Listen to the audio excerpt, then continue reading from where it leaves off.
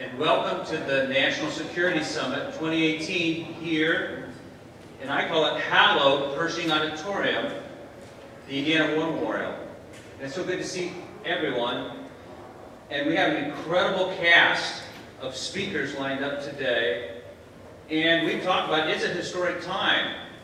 Last night, President Trump ordered missiles and bombs into Syria to take out the chemical depots and the chemical installations in Syria.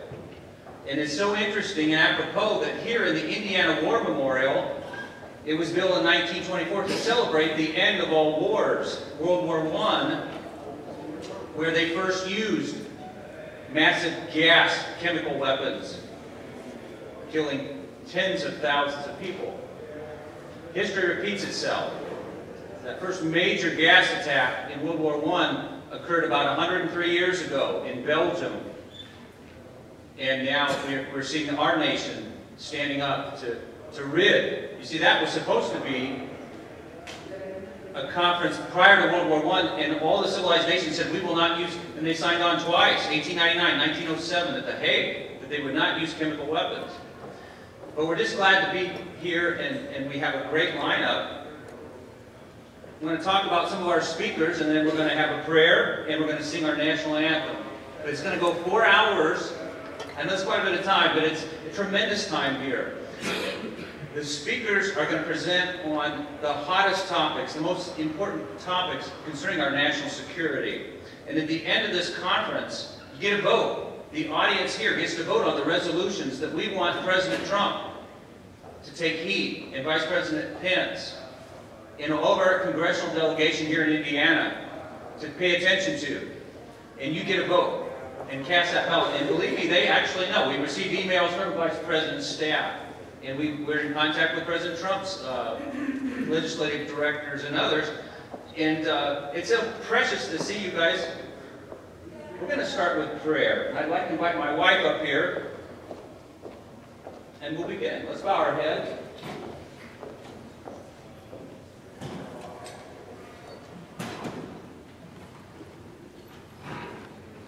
Precious Father, we thank you so much that we are privileged to come and gather together still in your name today. We thank you, Lord, that our eyes are on you, but our eyes are certainly on what is going on in our state, in our city, our country, and our nation. That's why we're here. We thank you, Lord, that today we are not just truth seekers, but we are truth believers. That we need to walk and live and move in the truth, because that is what this is all about today. We thank you, Lord, that we speak of protection, Father God, upon all of us that are even representing different organizations and groups that are in this room. We thank you, Lord, that you speak a special protection on all of us, individually, corporately, as a city, as a state, and as a nation. Lord God, thank you that let your plan unfold for what you have for us all coming together. For our times, our troublesome times, our times our sober times, but these times are also strategic times. We thank you, Lord, that you will continue to be the shield and the true tower defense and protection for all of us in this hour. We thank you, Lord, that let your anointing be upon all the speakers, all the presenters, all that are following after not just a cause, but they're following after the principles that have been guided by you, instilled by the Constitution, and that need to come into further installation, Father God, in these times. As I woke up this morning, Lord, there was a scripture that came to my attention. And so I would like to pray that over this event in this hour. And it's in the book of Isaiah, and it's in chapter 11.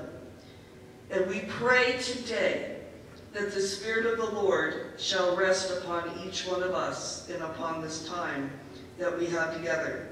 the spirit of wisdom and understanding, the spirit of counsel and might. Let that be upon our speakers and thus coming together. Let there be the spirit of knowledge and of the fear of the Lord.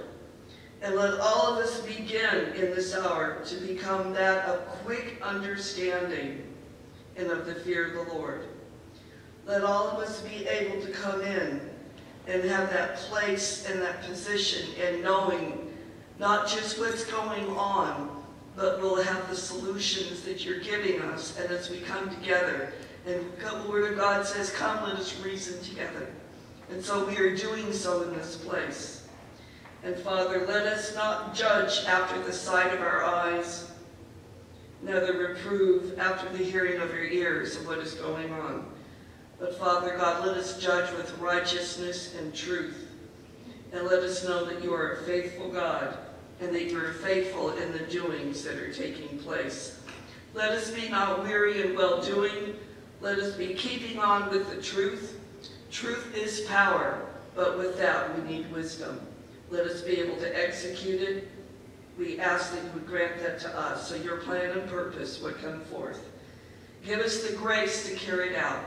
And in this hour upon all our hearts, we're praying for those that are in active line of duty, those that are following in the military and even in the events that's gone on and are continuing to go on even these last 24 to 48 hours.